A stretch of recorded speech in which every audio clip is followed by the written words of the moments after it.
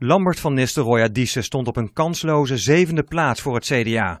Toch stemden 33.000 mensen speciaal op hem. En zo lijkt hij toch weer verder te kunnen in het Europees Parlement. Ja, het was natuurlijk uh, hartstikke spannend. Vanuit plaats 7. Mensen moeten maar op de lijst naar 7 gaan. Ze zijn een beetje zenuwachtig en dan helemaal naar 7. Nou, en als dat dan voldoende mate gebeurt, dan uh, ben ik daar heel blij mee. Voor Twan Manders uit Asten is het avontuur in Europa voorbij. Hij kreeg net niet genoeg stemmen als lijsttrekker van 50 plus. Het scheelde 0,1 procent. Dat is alles bij elkaar over heel Nederland ongeveer 4000 stemmen.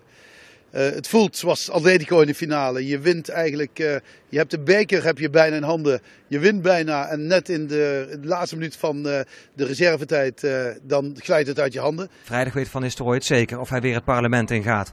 Met dank aan Brabant. Ja, het zijn opnieuw de, de, de Brabantse mensen, van jong tot oud. Dus het is voor de, ik denk, negende keer dat ik ben gekozen voor een functie van gemeente, provincie en uh, nu voor de derde keer in, in Brussel. Zijn eigenlijk ongeveer altijd dezelfde mensen, Brabantse mensen. Hier zien we Twan Manders in 1999, toen hij begon in Europa. Hij zat er voor de VVD, maar volgens Manders moest hij weg omdat het te oud werd. 50 plus werd het. Maar nu is het na 15 jaar dan toch echt voorbij. Nee, ik val niet gauw in de zwart gat. En ik ben dankbaar voor die 15 mooie jaren die ik heb mogen hebben. Ik denk dat ik heel veel bereikt heb.